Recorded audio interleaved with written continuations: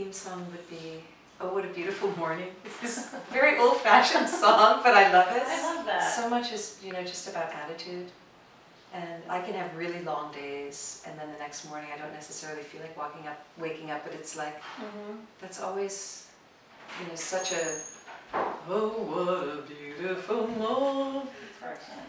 I'm a coffee person in the morning. I love coffee. I mean, just the smell of it. And it's funny, I don't want to have it with food. I just want sort of silence, coffee, and just that's my sort of moment to just, you know, tune into the day. And, you know, I love it. I love coffee. I love tea in the evening, though. Mhm. I love tea, you know, by the fire before we go to bed. I actually go to the east side. I go to Seven Stars. Okay, I Hope so. yeah. It's my go-to. My favorite restaurant for casual is Rasoi.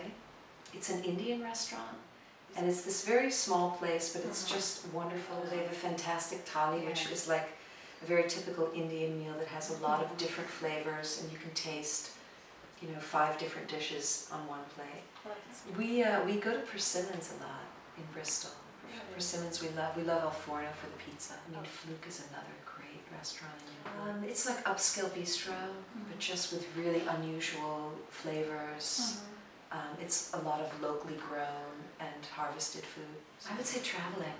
Traveling is one of my main sort of rejuvenation, allowing myself to just sort of have a fresh perspective and it opens up my eyes and I love just seeing new cultures and new people and trying new food. I think that's one of my main, and also just being in nature, to just sort of take a break and just see like, wow, how, how am I going to look at this person? How can I sort of tune into them? And I think traveling, you do that automatically. Mhm. You're vulnerable, you meet so many people, and it's, I love that, you know, connecting with people. And that's what happens when I shoot somebody also. I'm really like getting to know them and connecting with them, and it is a little bit like this adventure. So my style, I mean, my background was always in fashion, Mhm. and I started shooting events. So I would say it's it's this combination of fashion and editorial. Mhm. And I also like to also tune into people. So I'll really like when I photographed you, really sort of moving you and directing you and having you look and sort of seeing, wow, what is your most beautiful angle and Mhm. how can I capture your essence in the photo? Mhm. So that's also really, I mean, I love emotion and I love, um, I love something that's also vulnerable. I love seeing this vulnerability in photographs.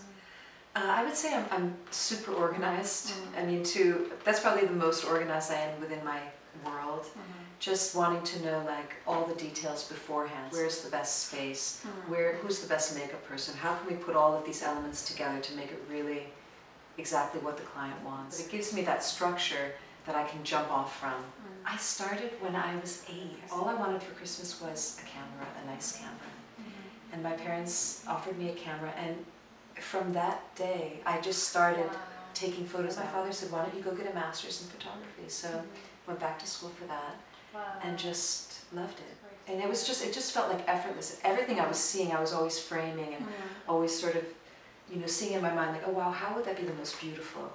And you know, it just was second nature. Good.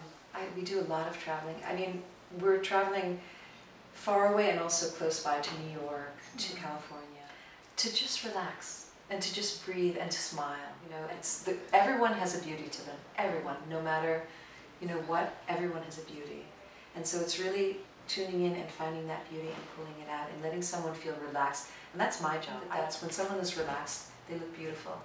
And then they just get this idea, oh, I'm not mm-hmm. photogenic, but I think everyone, it depends on how you photograph them. I think everyone can be beautiful. Everyone is beautiful.